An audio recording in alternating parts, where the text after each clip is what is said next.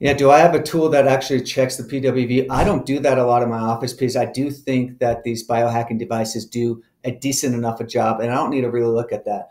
I look at other factors. Okay, we see that your cardiovascular age is older than it should be. So you have more rigid arteries than you should have. Okay, that's one piece. But we also, what I like to really look at it's all kinds of other laboratory tests or other imaging tests that we do to actually see what's going on. So there's a lot of different things, some basic things. We do a calcium score, we do what's called a TIBC, which is a CT scan in which we can see the carotid artery, we can actually see the plaque and see changes that are happening in the plaque. Those are great things. Those are more basic things. Cardiologists know about this. But what I do that's more specialized and actually more preventative than this stuff is I actually check your glycocalyx probably most of you haven't even heard about this, which is sad and really surprising, especially in the biohacking world now, because it's probably the most important thing we have for actually testing the health of our blood vessels.